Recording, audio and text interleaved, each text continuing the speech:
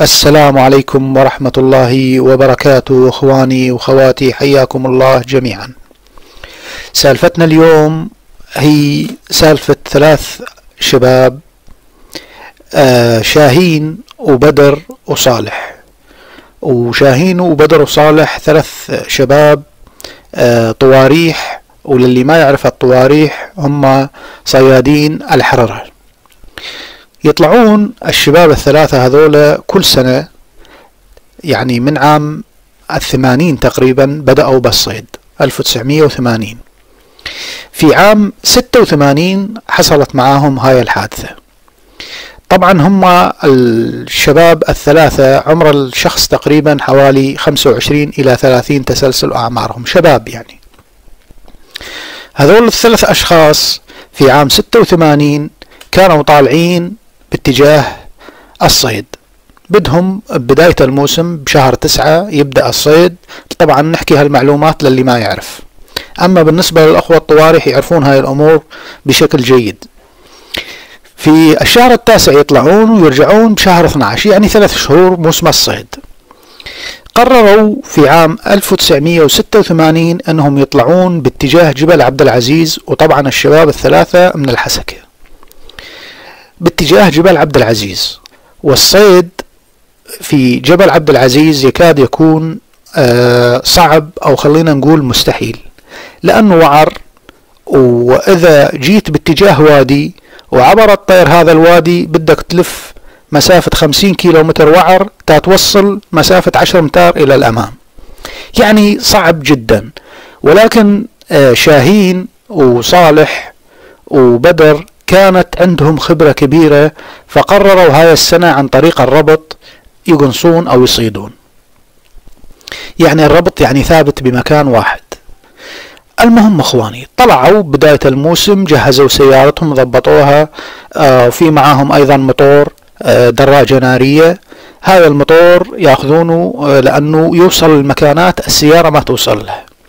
في أثناء ملاحقة الطيور وطبعا مثل ما قلت إخواني نتكلم عن ثلاث صيادين آه لهم اسمهم بهذا الباع بهذا المجال. يعني يعني آه موسمهم ثلاث أربع طيور في هذاك الوقت يعني. وهذا رقم آه يعتبر ممتاز. هاي السنة سبحان الله قرروا يصيدون بهذا المكان الوعر والخطير. طبعا جبل عبد العزيز إخواني 85 كيلو متر طول و15 كيلو متر عرض. وديان قمم جبال آه مرتفعات آه صخور ما يعني غابات آه حيوانات مفترسة. يعني المخاطر من كل جهة. ولكن في طيور على مستوى كجمال طيور ونوعية الطيور والصنف الموجود ما موجود بغير مكان. يعني مواطنات هذنا وخصوصا طير الشاهين بهذا الجبل موجود بكثرة ونوعيات نادرة. فقرروا هذول الشباب بعد ما رتبوا أمورهم وقبل بشهرين يجهزون ويرتبون خيم وما خيم وأفخاخ وصيد وأسلحة يعني عدة الطواريح.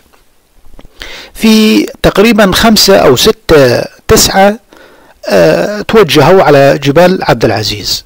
بهذاك الوقت هم يروحون أه الثلاث شهور ما يرجعون على البيت إلا إذا صادوا. لو من يصيدون يرجعون على البيت يبيعون ومن ثم يكملون مرة ثانية يستمرون. الشباب هذولا يوم وصلوا على جبل عبد العزيز ما كانوا أو ما كانوا مقررين على مكان معين. من خلال هال 85 كيلو متر قالوا نشوف لنا مكان مناسب. والأهل إخواني ما يعرفون شيء عن هذا الموضوع يعني ما يعرفون وين من بدهم بالضبط يخيمون. يوم وصلوا الشباب هذولا بعد حوالي يومين أو ثلاثة طبعا جوالات بهذاك الوقت ما بي آه خلال أسبوع لازم واحد منهم يطلع على البيت يطمن الأهل عن الوضع. إذا ما صادوا شيء يطلع على البيت على البيوت يطمنهم ويقول لهم إنه إحنا ترى بخير وسلامة وتطمنوا إن شاء الله خير. يعني. ما ما جحد أسبوع عشرة أيام خمسة عشر يوم. كان يعني إذا ما تتصل بشخص 15 يوم 20 يوم بهذاك الوقت يعتبر الموضوع تقريبا طبيعي. فقرر واحد من الأشخاص واللي اسمه عبد الله وهو أخو شاهين. قرر إنه يطلع يشوف انه وين راحوا بأي مكان راحوا وفعلا طلع.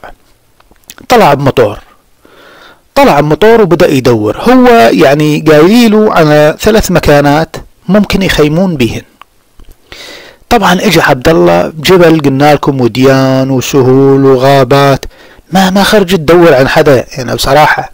يعني يغبي آه، مدن الجبل.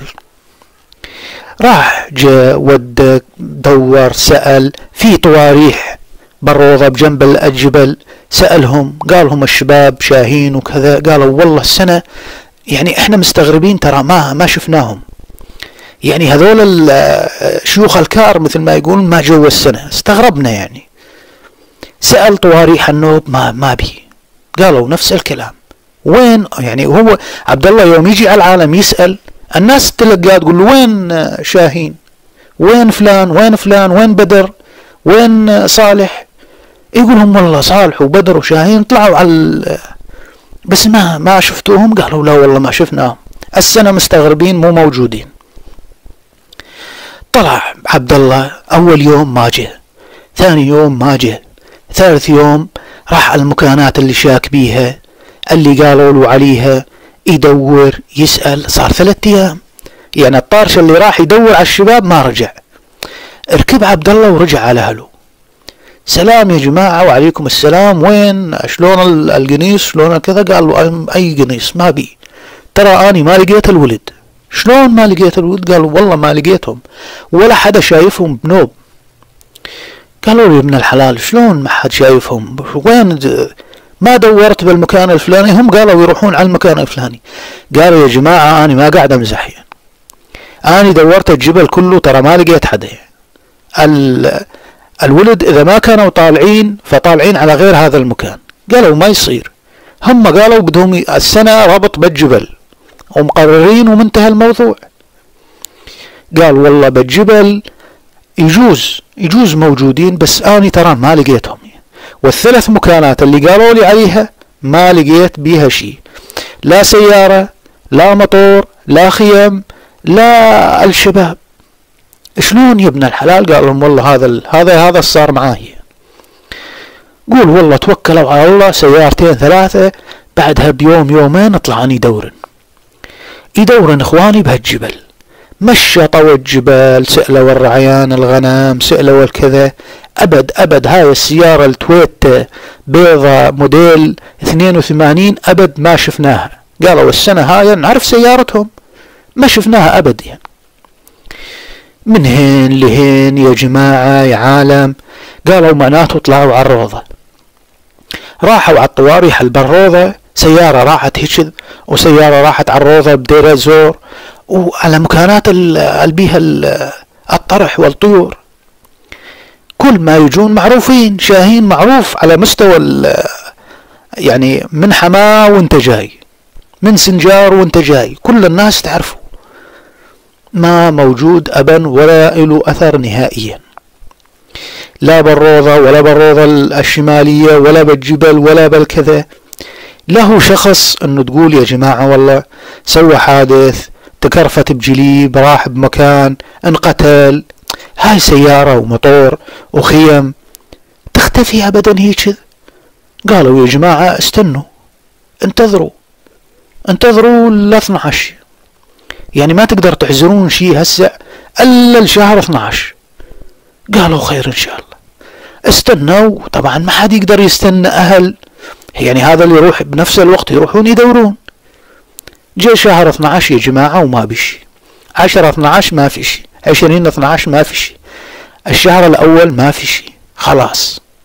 معناته شاهين وبدر وصالح ألا صاير عليهم شيء. حتما يعني. والله أعلم. يعني شوف شنو اللي صاير معاهم طبعا إخواني دوروا يعني بالنسبة للبحث عند الأمن عند الشرطة عند المشافي عند ما خلوا مكان خلاص ما في. مضى ست شهور ما بشي صورهم بالجريدة بالجرايد بل ما خلوا وسيلة أهل الشباب هذولا ما اتبعوها وما في نتيجة. يعني تقول سبحان الله انشقت القاع وبلعتهم. لا سيارة لا مطور لا ولا أثر ما في شيء عجيب غريب. راح هذا الكلام طبعا في عبد الله استمر بالبحث. استمر بالبحث لسنين. من عام 86 إلى عام 92 وهو يبحث.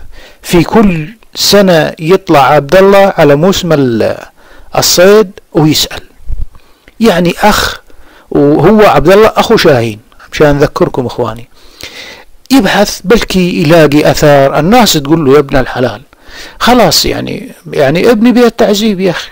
يعني ما والله أعلم ولكن قال لهم والله إذا ميتين أريد أعرف. طيب أريد أوقف على جثثهم أريد أدفنهم. أخ يعني ودمه حامي على أخوه وهذول ربعه زاد. يعني زاد غالين عليه المهم يا جماعة ترك كل شيء ويدور على هذول الشباب.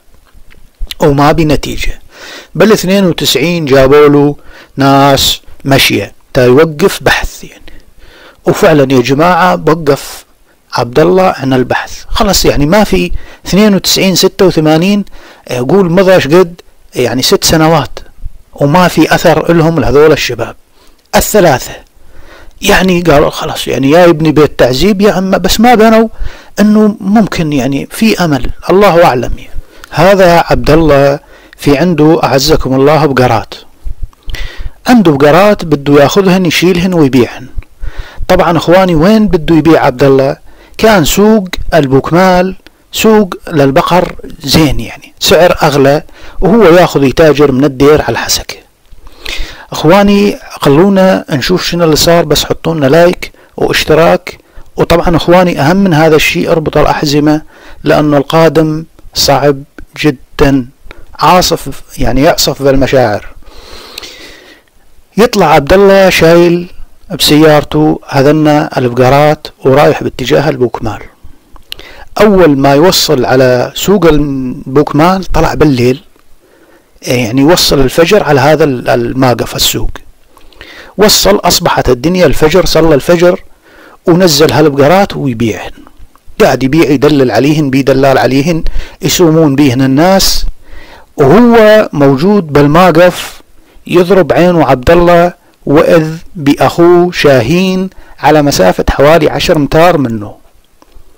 لكن يا جماعة يعني الموقف صعب جدا.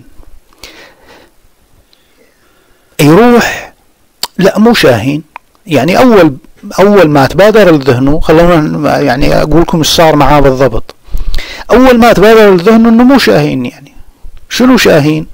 إحنا نحكي في عام 95 يعني مضى من الستة وثمانين حوالي عشر سنوات. وشاهين مو موجود بهالحياة. فجأة بالبوك مال موجود شاهين وشاهين قاعد يبيع غنم. أخو عبد الله وعبد الله جايب أعزكم الله بقر على هذا الموقف. هذا بي معاه عالم واقفين يعني اللي يشبه شاهين. يعني عالم واقفين معاه وقاعد يبيعون غنم. وهذا عبد الله يوم شاف آه، شاهين ما عاد يعرف يعني. ترك البقرات باعهن شلون ما كان على السريع يعني. صار خلاص ما حد يقدر يفكر. يعني أخوك من عشر سنوات تشوفه شنو يقول؟ قال أريد أروح أعرض من قدامه. يعني تعرفون مو معقولة أخوي بماقف يبيع غنم طبيعي ما في شيء. يعني ما هو مكترث بوجودنا.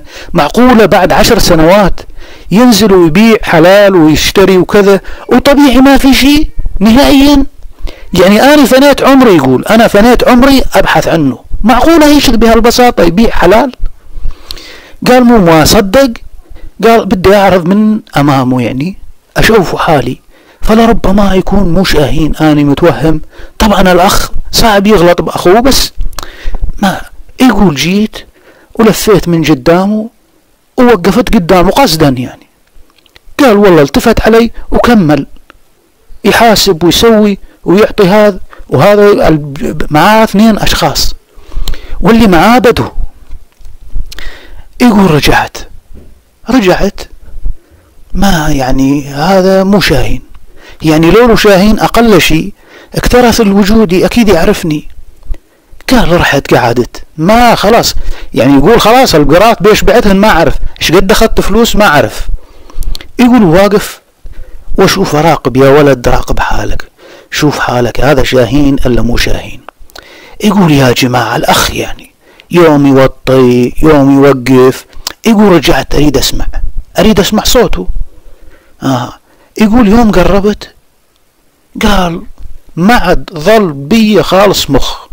يقولون يوم سولف قال قمت دموعي قبل قبل سوالفي. دموعي من عيوني ما عاد أشوف يعني. وقضبت وحضنت هذا اللي يشبه شاهين. قال حضنته وأبكي وأصرخ بس الشخص اللي حضنته ما هو أخوي. يعني شخص مستغرب. يعني يريد يبعد عني يريد إيش هذا؟ مستغرب خاف أول شيء بالبداية جفل. قال اني حضنته وأبكي. متأكد مليون بالمية هذا اخويا قالوا يجون اثنين بدو. قالوا قاشوني قضبوني. شبيك يا رجل؟ أنت شو سالفتك أنت؟ شو شبيك قال يوم اتفاجئوا اتفاجئوا أني أبكي.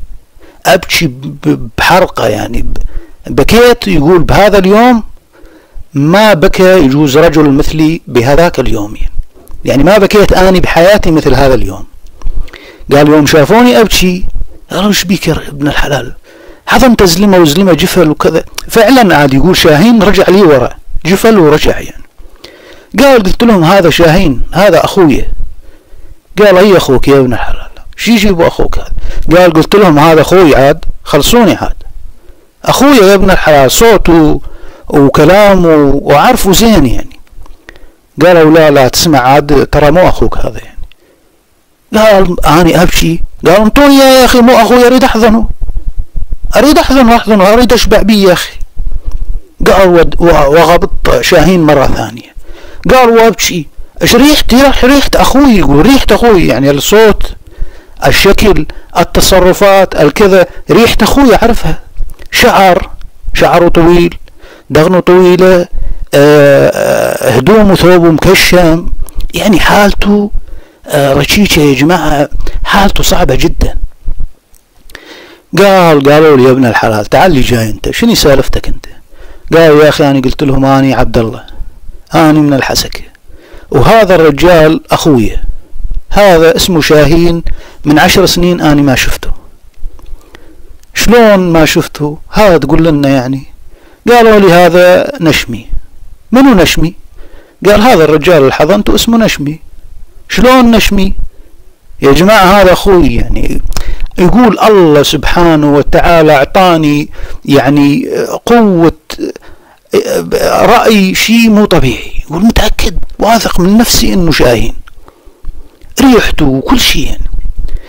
قالوا لي تعال بس تعال تعال قرب لي جاي. يقول أشوف بي عندهم شيء البدو هذولا يقول عندهم شيء لكن ما ما ما أعطوني الثبات يعني. قالوا قادوا هذا اللي هو شاهين. يوم يقول يوم قادوا شاهين شاهين بيشي يعني ما هو طبيعي. يعني ألا مثلا تاخذه معاك توديه على المكان الفلاني أو يظل آه، أغلب الوقت ساكت. يعني ألا تجديه رجال صاحي وكذا وكل شيء ما في ابدا شيء بس ألا تاخذه على مكانه أو تجيبه أو كذا. قالوا له أمش. يوم قالوا له أمش مشى معاهم. دشرني.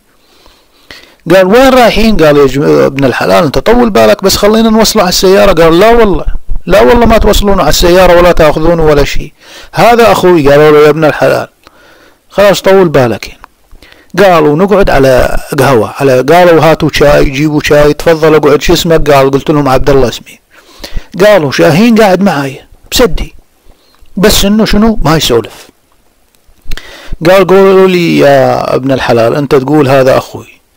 شلون أخوك؟ قال يا جماعة هذا أخوي ومن عشر سنين أني ماني شايفه. طلع على الصيد وما رجع من وقتها ومعاه ما قال طبعا قال معاه ولد عمي اثنين. ما سمى أو شيء. قالوا يا ابن الحلال. ترى هذا الرجال واحد منا يعني. وهذا الرجال اسمه نشمي. أو صار له عشر سنين عندنا. قال عشر سنين؟ من الستة وثمانين؟ قالوا ها إي من الستة وثمانين. قالهم من الستة وثمانين هذا اخويه واسمه شاهين مو نشمي. قال إحنا مسمينه أخوي إحنا مسمينه نشمي. لأنه رجال طيب ومن الستة وثمانين إحنا لقيناه وعايش معانا وواحد منا. وجونا قبل ناس قالوا لنا هذا ابننا مفقود وكذا ودوروا هاي وما أنطيناهم. بعدين ما تعرف عليهم. وبعدين يا أخوي لولو يعرفك لولو أخوك كان تعرف عليك. قالوا الشاهين تعرف هذا؟ هم هم البدو قالوا يقولون تعرف عبد الله؟ يقول دحق علي شاهين أخوي أخوي. يقول دحق علي؟ قال لا ما أعرفه. قال قلت لهم يا جماعة هذا أخوي وأني ترى ما أترك اليوم. قالوا زين يعني عجيب إنه ما أتعرف عليك أخوك. احكوا لي سالفته قالوا له سالفته جانا بليل ولقى الراعي. جانا راكب مطور وطبعا ما جانا وصل علينا. عند الغنم الفجر لقى الراعي مهور بالمطور زين ما معاه بكاب تويتا كذا قال ابدا. ما معاه لا بكاب تويتا ولا شيء. خاف أنك وهمان يا عبد الله قال يا جماعة من وهمان؟ هذا أخوي. وطبعا يا جماعة موقف يعني يقول كل شوي أقوم وأحضن شاهين وأقوم أبكي. يعني يعني مبين إنه أخويا مبين واضح يعني. بس يقول هذول البدو مغلينه ويريد يحافظون عليه وشوي شاهين كأنه مضيع. مضيع مضيع عقله يعني. شنو الجاري عليه شنو الصاير عليه وين هالسنين هاي كلها كان؟ كل هالتساؤلات هاي يقول قال قلت لهم يا جماعة أنا بدي أخذ أخويا. قالوا لا شلون تأخذه؟ ما يصير تأخذه. ما ننطيك إياه. بدك تثبت لنا إنه هو أخوك. قال شلون أثبت لكم؟ قال والله ما ندري. إحنا قاعدين بالمكان الفلاني بدو هذولا. هذولا يتنقلون من تدمر الحماة يعني كل ثلاث شهور بمكان.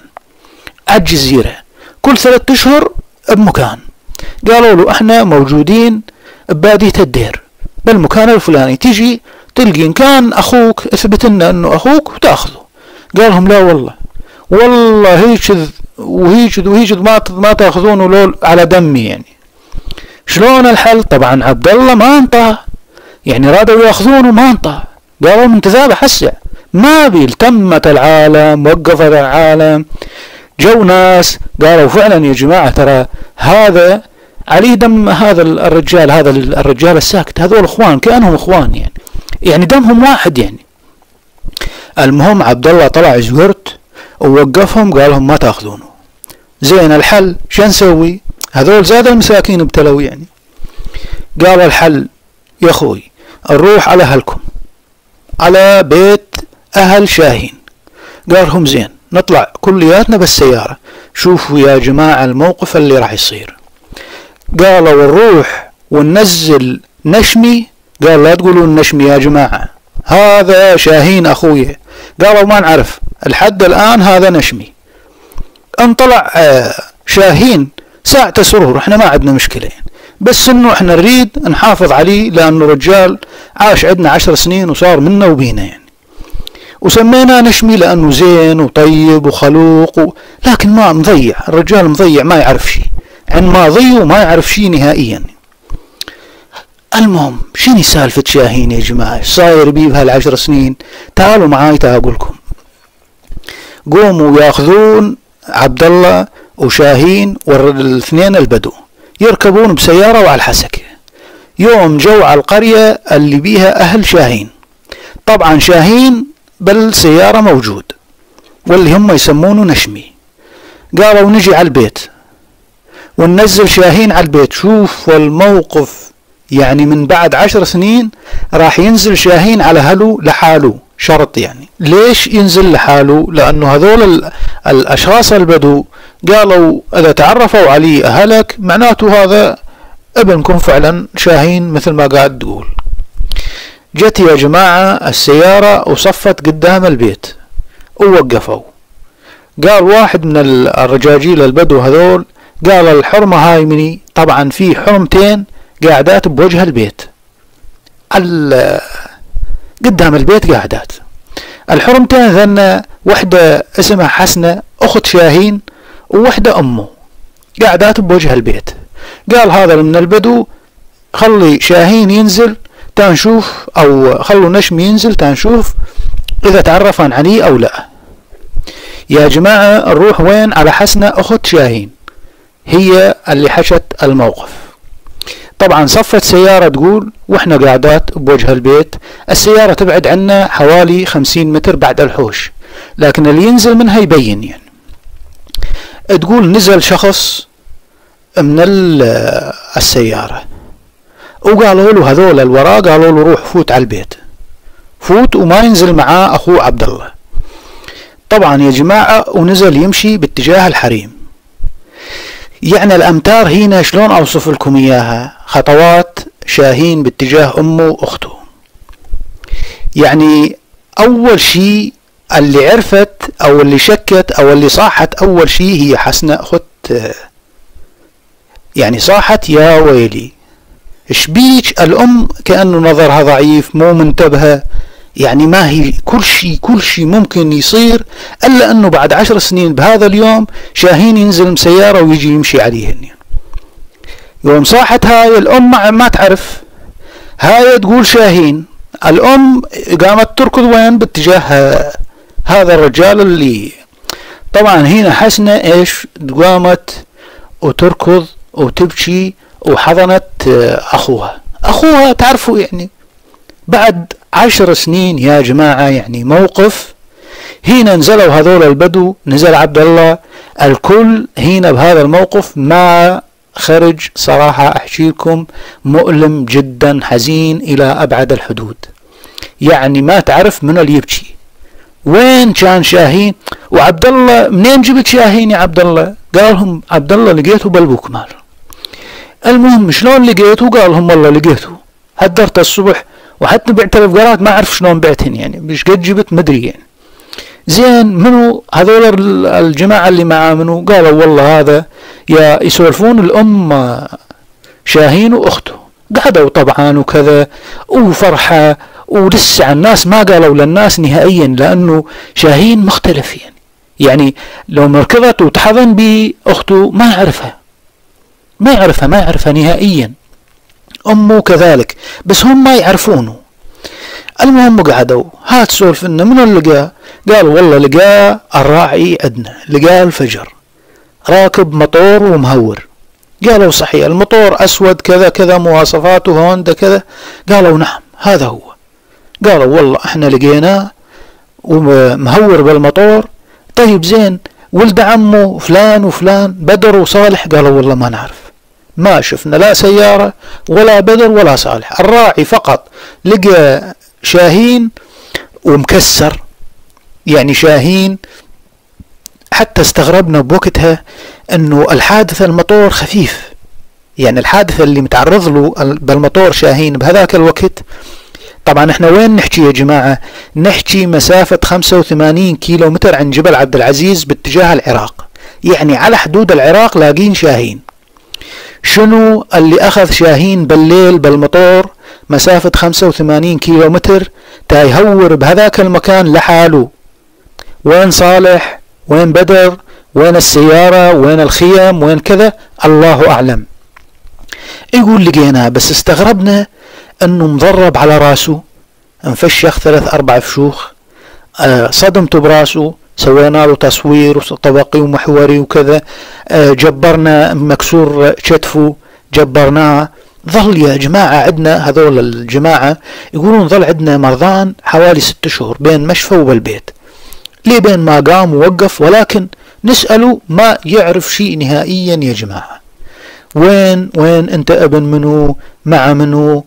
قالوا يا جماعة أنتم تثبتوا من الراعي. قالوا والله الراعي يعني فكروا هم تعرفون الأهل بعد ما راحوا هذول الجماعة البدو بعد ما راحوا وتواعدوا بيوم يروحون عليهم تيفهمون من الراعي وراحوا فعلا وفهموا من الراعي ما بشي. يعني أول ما تشك تشك بالراعي لسه بيزلمتين غير شاهين. مع الشاهين جاء بس في بدر وصالح وينهم؟ يسألون شاهين شاهين ما يذكر. شاهين يجي يقعد آه تسولف معاه يسولف يعني يعرف السولف تماما. تذكروا تأخذوا على مكانات ما يتذكر. طبعا يا جماعة دامت فك شكوا بالراعي الراعي ما عنده شيء. يعني طيب الراعي لقاه ومهور وكذا صحيح مزبوط. كل العالم قالت هالكلام. يعني الراعي ما عليه شبهة ما عليه شيء. ولا حتى حلفوه يمين ولا كرشي واضحة الأمور الراعي ما عنده شيء. يعني هذا مهور ولقاه صحيح. مزبوط الراعي هذا سارح. لا يعرفه لا يعرف شاهين ولا شاهين يعرفه.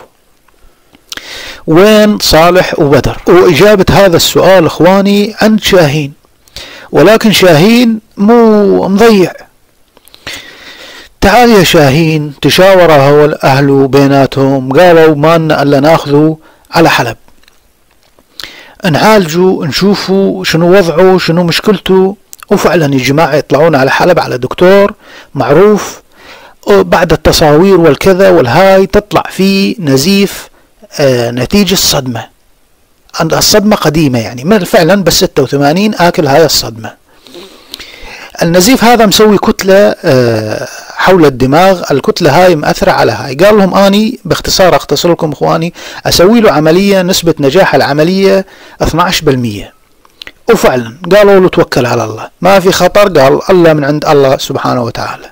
قالوا له توكل على الله. سوى العملية العملية يا جماعة ما نجحت. أو إنها حسب ما قال الدكتور مع الزمن راح تعود له شوي شوي ذاكرته. فعلا إجوا وراح الموضوع يعني من عام هذا الحكي بس 96 بعام ال 2001 2001 يعني بعد خمس سنوات أهل شاهين آه، الشباب طبعا يطلعون رحلة على الجبل على جبل عبد العزيز. تعالوا شوفوا شنو اللي صار بهاي الرحلة. شباب ثلاثة أربعة وقالوا ناخذ شاهين معانا. صح شاهين آه، يعني مو بوضعه تمام وكذا شوي يعني شوي ها شوي بدأ يعني في عنده ذاكرة شوية يتذكر أمور بسيطة طفيفة جدا. أخذوا وين؟ على منطقة اسمها مغلوجة. بمغلوجة في شخص اجى سبحان الله عزمهم قالهم آني ذابح لكم وهو بيته بالجبل جوا وفعلا يقومون يطلعون بالسيارة أربع أشخاص وبيناتهم شاهين. وهم ماشيين بالطريق يا جماعة ما حسوا دريوا ألا شاهين قام يصرخ ويصيح. شنو؟ وقف وقف وقف وقف وقفوا. وقفوا. شنو السالفة؟ وقف يا شاهين افتح الباب وحدر يركض يصيح ويبكي. يصيح ويبكي. قاموا هذول ركضوا لا يزت حاله بوادي لا شيء. لحقوه. لحقوه يعني عبر الوادي وطلع على جبل. جبل جبل عادي يعني ما ما بشي يعني. وقف غادي ويأشر لهم يقول لهم هنا. شنو الهينة؟ يقول لهم هينة طبعا يرجف. وحاله يعني يعني صاير بحالة هلع يعني. وعيونه متوسعات وكذا يعني حالة يعني خلينا نقول هستيرية يعني. شنو يقول شاهين؟ يأشر العبد الله أخوه يقول له هينا شنو هينا يا شاهين؟ تعال اقعد ارتاح يشربونه مي يصبون عليه مي. يبكي يبكي ويأشر بدينه يقول هينا شنو هينا يدحقون. يطالعون الجبل جبل يعني. جبل ما بشيء ما في أي شيء يا جماعة. يعني عبارة عن جبل طبيعي ما في لا فتحة لا شغلة لا شيء. بس هذا يقولهم هنا. المهم يوم صاروا هذا الموقف قالوا خلاص خيرة وتنرجع يا شباب. ركبوا وداوروا. داوروا ورجعوا قالوا والله طبعا شاهين هنا بحالة يعني يبكي ويصيح ويرجف قالوا خلاص رجعت حالة شاهين يا جماعة وشيلوا حالهم من مغلوجة وارجعوا على القرية. يوم رجعوا على القرية قالوا شنو السالفة؟ بدأوا تعرفون بالتعليل الناس التمت إجت عليهم إيش بيه شاهين اليوم؟ إن شاء الله الناس تطمن عليه. شاهين يا شاهين سولفنا شنو بيه هنا؟ قال والله جينا على جبل وحدر من السيارة ويركض ويصيح وجا وقف عبر هذا الوادي ووقف عند هالجبل ويأشر لنا هنا. قالوا زين باشر نروح نتوكل على الله ونروح على نفس المكان. يا جماعة معقولة بدر أو حدا ضرب شاهين بهذا المكان؟ يعني هم قالوا في حدا ضربه أكيد في حدا ضربه بهذا لأنه آه الحادثة المطور اللي صاير معاه ما يسوي هاي الفشوخة براس شاهين. جو على نفس المكان. هنا نفس الحالة رجعت قال يعني اتركوا اتركوا شاهين شوفوا. شاهين يدور يعني هي جرف. الجرف هذا بجبل آه، آه، مهدود مثل المهدود الجبل على هذا الجرف مغطيه تماما. لكن مو مبين مو واضح هذا الشيء. هذا الكلام إحنا نحكي عن أكثر من عن 10 15 سنة من صارت هاي الحادثة.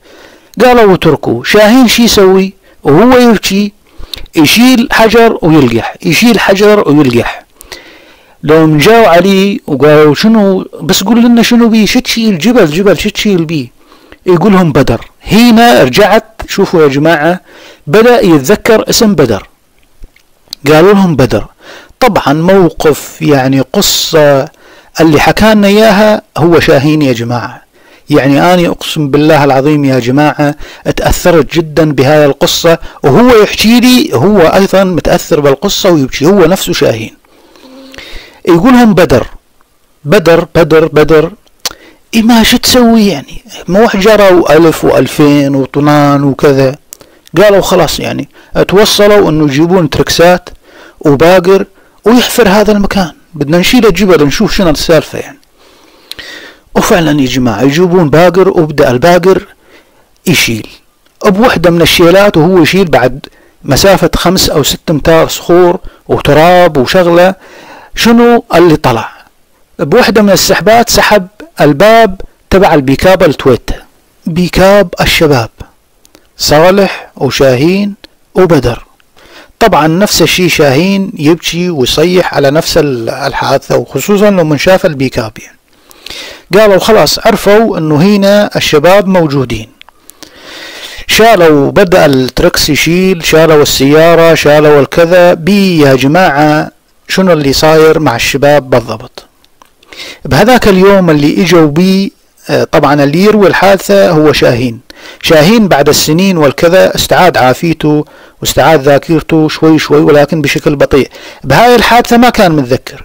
يعني ما كان متذكر وهو يحكي بعد سنين تا حكى شنو تفاصيل القصة بالضبط. يوم جو آه كانت الدنيا مساء. قالوا ما راح نبني الخيم والكذا نصف وبي مثل شخط تبع المي يعني مثل مغارة صغيرة قالوا نصف وننام بيها وبكرة من الصبح نطلع على غير مكان ونخيم بيه اللي صار يا جماعة أنه يوم فاتوا صفوا السيارة كرجوا السيارة تماما وصفوا نزلوا فرشة أو شغلة شيء على الماشي وشعلوا نار. كان في هاي اللحظة شاهين يبعد حوالي 25 متر عنهم. كان راح يجيب حطب تايلم حطب ويشغل النار يكمل على النار. بهاي اللحظة شنو اللي صار؟ الجبل سفح الجبل كلياته نزل. نزل كلياته عليهم. سكر على بدر وصالح. من هاي الصخور والكذا شنو اجى على آه، شاهين. شاهين آه، اندفن منه قسم وضربوا براسه ضربته صخرة. بهذا الموقف شي يسوي شاهين؟ ما عاد يعرف شي يسوي. يحفر ما ينحفر. يتذكر ما يتذكر مصدوم مضروب. شو راح يسوي؟ ركب المطور ركب المطور المطور بعيد عن الهاي ركبه وطلع. وين ركب المطور يحاول يتذكر أهله وين أو يروح عليهم. وطالع ماشي. ماشي هين اللي هين تعرفون هو مصدوم ويحاول يتذكر ودم منه وكذا. ما وقف إلا هور على حدود العراق.